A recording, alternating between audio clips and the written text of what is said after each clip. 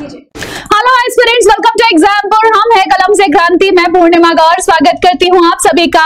आप लोगों के अपने साइंस के एक छोटे से सेशन में, और ये सेशन है भैया अपना स्पेस से संबंधित। पीछे चलती हुई पिक्चर आपको दिखाई दे रही होगी कि यही चीज़ तो कहीं ना कहीं न्यूज़ में भी है तो क्या है ये? इंटरनेशनल स्पेस स्टेशन तो ये जो इंटरनेशनल स्पेस स्टेशन है, ये कहीं ना कहीं हमारा संचार में, हमारी सैटेलाइट्स के साथ कम्युनिकेशन में बहुत ज़्यादा सहायक रहता है। लेकिन बात करी जा रही है कि इसको डीकमीशन कर दिया जाएगा। मतलब इसको अंतरिक्ष से वापस यहाँ पे ला दिया जाएगा, पृथ्वी पे लाया जाएगा और इसको कहीं हम नष्ट कर देंगे। तो बेसिकली रीजन क्या है और कौन सी जो देश है, वहाँ पे, वहाँ की गवर्नमेंट के सामने इसका प्लान रखा गया है। आइए चलिए देखते हैं। पहली चीज़ तो आईएसएस है क्या? यहाँ पे आपको स्ट्रक्चर दिख रहा होगा, पृथ्वी के लो अर्थ ऑर्बिट में। ठीक है? जो एक लो अर्थ ऑर्बिट होता है मतलब पृथ्वी के नज़दीक में हमने एक कक्ष बना रखा है, या पृथ्वी के नज़दीक में जो लगभग 300 से 400 किलोमीटर का जो क्षेत्र होता है, वहाँ पे अगर हम किसी सैटेलाइट को, या किसी एक स्ट्रक्ट सैटेलाइट मानिए, उपग्रह को अगर हम भेजते हैं तो वो जो उपग्रह है, वो कौन से ऑर्बिट में आता है, कौन से कक्ष में आता है, वो कक्ष जो होता है, वो है लो अर्थ ऑर्बिट तो इसी लो अर्थ ऑर्बिट में आपको क्या मिल रहा है? ये स्ट्रक्चर एक बहुत बड़ा सा स्ट्रक्चर जहाँ पे तीन से छह साइंटिस्ट रहते ही रहते हैं, ठीक है? तो इसको बोलते हैं इंटरनेशनल स्पेस स्टेशन और ये लो अर्थ ऑर्बिट में होता है। अभी डीकमीशन करने का प्लान किया जा रहा है 2031 तक। ये है हाइलाइट्स कि आपको क्या क्या सीखने को मिलेगा यहाँ से। डंप कहाँ किया जा रहा है? पैसिफिक ओशन में क्यों किया जा रहा है? भैया, इसकी उम्र पूरी हो गई। उन्नीस सौ अट्ठानवे से काम कर रहा है ये 1998 से काम कर रहा है और 2031 तक इसकी जो हालत है, वो थोड़ी सी बेकार हो जाएगी। और ये हमारा काम करने में भी सक्षम नहीं रहेगा। ठीक है? तो इस वजह से इसको क्या किया जा रहा है? डिकमीशन किया जा रहा है। और इसकी एज कंप्लीट होने के साथ साथ क्या है कि जो स्पेस का हाई टेम्परेचर है, उसके कारण भी इसकी बॉडी के ऊपर काफ़ी ज़्यादा इफ़ेक्ट पड़ा है और इस वजह से भी आगे चल के हमारे लिए उतना एफिशिएंट नहीं रहेगा। उतनी इसकी पोटेंशियल नहीं रहेगा। ठीक है? क्षमता नहीं रह पाएगी। चलिए तो अब इसके जो रिमेन्स होंगे, वो क्या रहेंगे? उनको पैसिफिक ओशन के टॉप पे डाल दिया जाएगा। और वहाँ पे जो है ना, कुछ टाइम बाद जो है, ये रिएक्ट भी करना मतलब इससे कोई रिएक्शन नहीं होने वाली बेसिकली ये है। तो ये चीज़ हम यहाँ जानने वाले आइए जरा जानते हैं। नासा ने अभी अपने जो कांग्रेस है यूएस की कांग्रेस, नासा देखो आपको पता है कि ये जो नासा है, ये स्पेस एजेंसी है कहाँ की? ये है यूएस की स्पेस एजेंसी फुल फॉर्म क्या है?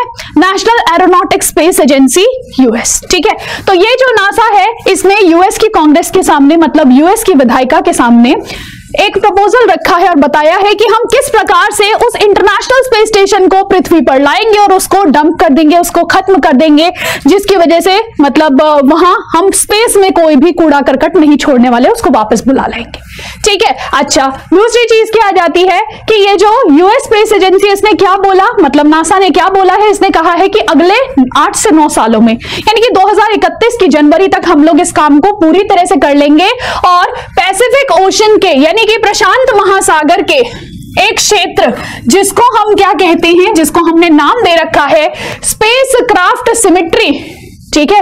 यानी कि जो भी हमारे अंतरिक्ष यान होते हैं, उनके कब्रिस्तान को, उनके कब्रिस्तान में ले जाके इस आईएसएस को डंप करने वाले हैं। ठीक है? वहाँ जाके गिराएँगे हम इसको। और ध्यान रखिएगा, ये जो क्षेत्र है, ये पैसिफिक ओशन का एक ऐसा भाग है, प्रशांत महासागर का एक ऐसा भाग है, जहाँ पे कोई जीव मतलब कोई मनुष्य नहीं रहता। ठीक है, कोई मनुष्य यहाँ पे नहीं रहता है, ये इसकी सबसे खास बात हमें देखने को मिलती है। ठीक है जी? अच्छा नेक्स्ट बात आ जाती है क्या? कि ये जो आईएसएस का मिशन है, ये कब स्टार्ट हुआ था? तो ध्यान दीजिएगा कि 1900 चलो आईएसएस के मिशन की बात करें, उन्नीस में ये स्टार्ट हुआ था।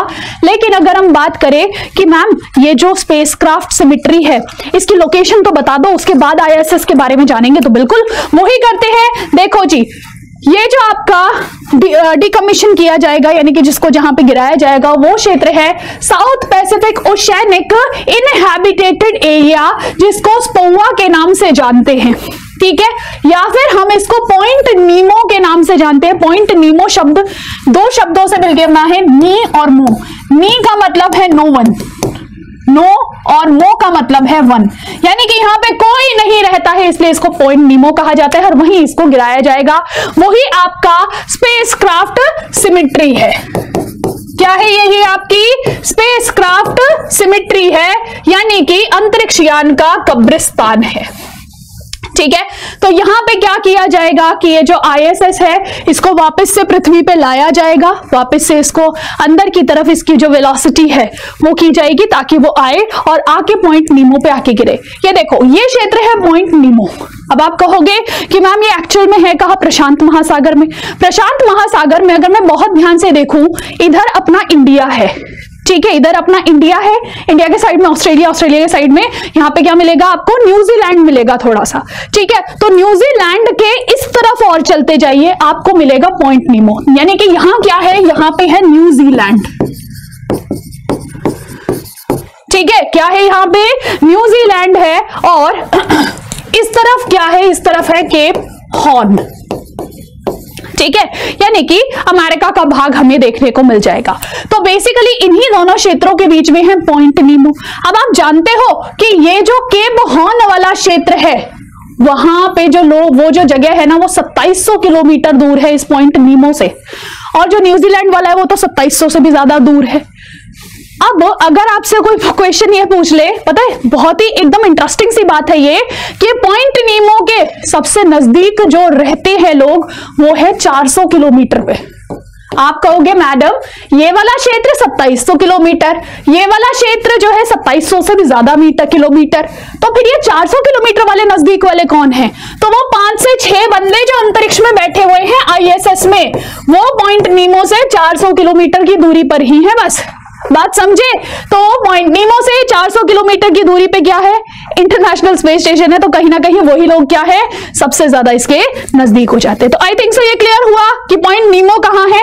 कौन कौन से स्टेट्स के बीच में आता है? यानी कि कौन कौन सी कंट्रीज़ के बीच में आता है? और लैटिन भाषा में लैटिन भाषा में नीमो का मतलब होता है नो वन ठीक है? पॉइंट नीमो को कहा जाता है बच्चे कि यह एक ऐसा ऐसा क्षेत्र है जहाँ पे जहाँ पे कोई नहीं रहता। कोई नहीं रहता। ये बात ध्यान रखना।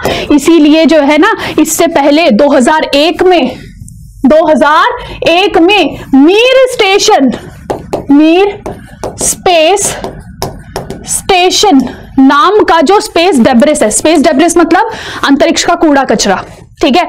जो मीर स्पेस स्टेशन है, वो अंतरिक्ष के लिए अंदर काम करने में सक्षम नहीं था तो इसलिए उसको यहाँ लाके गिराया गया था, ठीक? तो वहाँ पे ऐसे ही, जैसे अब हम आगे चल के 2031 में किसको गिराएँगे? अपने आईएसएस को गिराएँगे, ऐसे ही 2001 में एक को गिराया जा चुका है। ठीक है? अच्छा दूसरी बात आ जाती है कि आप लोगों का एक होमवर्क है। आपको नीचे कमेंट सेक्शन में करना है आंसर कि Mir space station M I R space station कहाँ का था? ठीक है? या फिर ये कौन सी कंट्रीज़ को बिलोंग करता है? आपको ये नीचे कमेंट सेक्शन में आंसर करना है। ठीक है? तो पॉइंट नीमो के बारे में बात क्लियर हुई। अब आगे बात करते हैं किस चीज़ की? इंटरनेशनल स्पेस स्टेशन की बात करते हैं कि ये जो इंटरनेशनल स्पेस स्टेशन है, इसकी स्थापना कब की गई थी? तो 1998 के नवंबर में इसकी स्थापना की गई और उसके तीन साल बाद यहाँ पे तीन से छह ग्रुप ऑफ़ पीपल को भेजा जाता रहा ताकि वहाँ की एक प्रॉपर मेंटेनेंस कराई जा सके। ठीक है? ताकि वहाँ पे लोगों की एक प्रॉपर मेंटेनेंस कराई जा सके तो इसलिए तीन से छह का एस्ट्रोनॉट्स का ग्रुप भेजा जाता है। तीन चले गए, फिर छह चले गए, फिर उसके बाद जो है पाँच चले गए। तो इस प्रकार से ऐसे ग्रुप्स जाते रहते हैं रोटेशनल बेसिस पे। ठीक है? हमेशा ही जाके वहाँ नहीं रहना। एक और होमवर्क है आपका। एस्ट्रोनॉट्स एस्ट्रोनॉट्स फ़ूड कौन से शैवाल को कहा जाता है? कौन से एल्गे को कहा जाता है? ठीक है एस्ट्रोनॉट्स फ़ूड किसको कहा जाता है? कौन से शैवाल को कहा जाता है? ये भी कमेंट सेक्शन में आपको आंसर करना है। ये क्वेश्चन का तो आंसर आता ही होगा आप लोगों को। चलो, अब देखो, अब इसके बाद बात आ जाती है कि मैम ये जो अंतरिक्ष स्टेशन है, ठीक है, अंतरिक्ष स्पेस स्टेशन है, यह है पाँच मील प्रति सेकंड यानी कि आठ किलोमीटर प्रति सेकंड की गति से चलता है। ठीक है। नेक्स्ट बात यह सतह से 400 किलोमीटर की दूरी यानी कि 248 मील तक यह दूरी कायम किए हुए है। और साथ साथ ध्यान रखिएगा कि यह हर 90 मिनट पे पृथ्वी की परिक्रमा करता है। ठीक है। इसको जब बनाया गया था तो पाँच जो मेजर कंट्रीज़ थी उस समय पे जो काफ़ी अग्रिम थी आ, अपने इंटरनेशनल स्पेस प्रोग्राम्स के अंदर जैसे यूएसए हुआ कनाडा हुआ रशिया हुआ यूरोप हुआ और जापान हुआ। ये जो पाँच कंट्रीज़ थी, इनके द्वारा इसको स्थापित किया गया था। तो अब क्योंकि इसकी उम्र पूरी हो रही है तो इसलिए अब इसको क्या किया जाएगा? अगले आठ से नौ वर्षों में पॉइंट नीमो पे लाके इसको नष्ट करा दिया जाएगा, गिरा दिया जाएगा, उसके लोगों को पहले बाहर निकाल लिया जाएगा। और दूसरी बात क्या है कि अंतरिक्ष में इस बार कोई कूड़ा कचरा नहीं छोड़ा जाएगा।